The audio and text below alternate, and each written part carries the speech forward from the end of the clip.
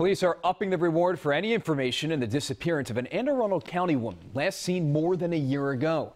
WJZ is live in Glen Burnie tonight, new at 11 o'clock. Stetson Miller explains what investigators and family members are doing to ramp up the search. Stetson. Rick, Melanie Meleney was last seen in October 2018. Now investigators are upping that reward and offering up to $13,000 for information to try to help find her. Anne Arundel County Police, family and friends are still looking for answers and trying to figure out what happened to Melanie Meleney. And now they're turning to the public. We need them to, to speak up because Melanie needs justice. The 45 year old Glen Burnie woman was reported missing on October 13, 2018.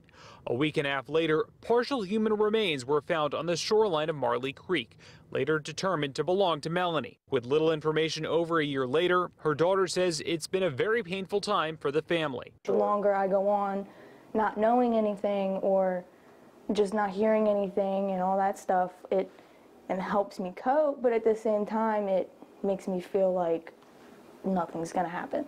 Anne Arundel County Police still consider this a missing persons case and now we're offering $10,000 for information.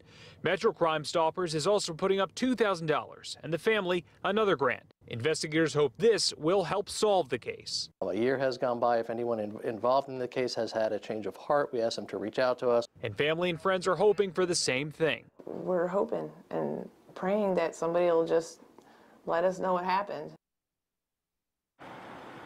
And investigators are asking anyone with information about this case to come forward and contact Anne Arundel County Police. At Anne Arundel County Police Headquarters, Stetson Miller for WJZ.